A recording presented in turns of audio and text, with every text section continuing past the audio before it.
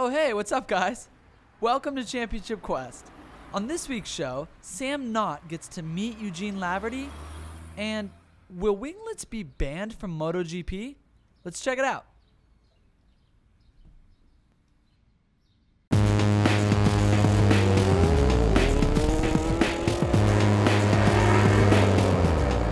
Welcome to Championship Quest, the online show that is dedicated to MotoGP fans around the world.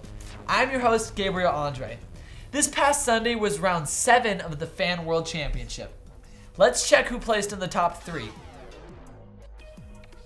In third place, we have Luca Ritorni, who raced as Valentino Rossi, managing to accrue a massive 2,100,000 points.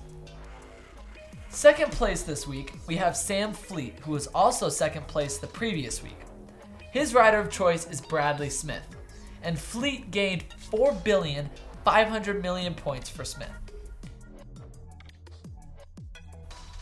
In first place, we have Sam Knott, who has been in first place for the past six weeks in a row. Sam Knott was at the race in Jerez this past Sunday and got the chance to interview Eugene Laverty.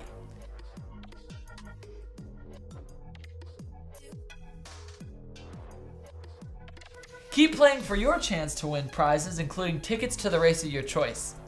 And congratulations to Sam Knott, Sam Fleet, and Luca Ritorni for being at the top of the ranks this week.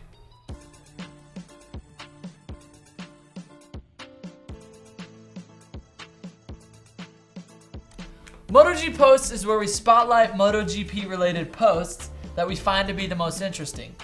The first is from colors underscore GP, and they share this photo of Rossi looking for his haters.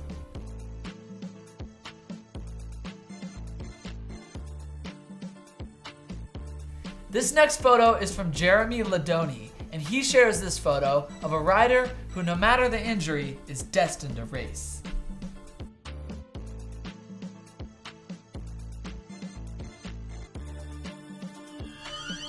As a MotoGP fan, you know what a winglet is, right? If you forgot, let me jog your memory real quick. Winglets are the plastic shark looking things at the front of many MotoGP bikes, which are seen here, here, and here. Other than making the rider look less of a badass, these winglets are supposed to keep the front down, preventing the rider from doing a wheelie. This is great because, well, try doing a wheelie at 100 miles per hour and tell me how that goes.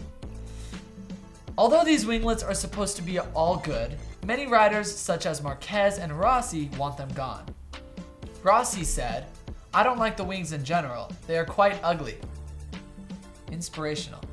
I'm gonna have to side with Rossi on this one.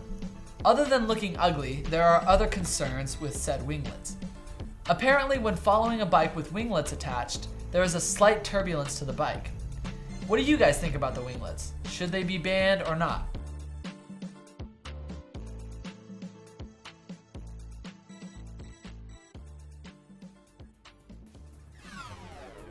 That is all we have for you today, guys. Hope you enjoyed this week's episode. And don't forget to race as your favorite rider to win massive prizes in the Fan World Championship, including Tissot watches, Nolan helmets, Flume breathalyzers, t-shirts, paddock passes, and tickets to the race of your choice. Also, follow us on Facebook, Twitter, and Instagram. All of those links will be in the description below. And keep this show going by racing as your favorite rider with MotoGP Championship Quest.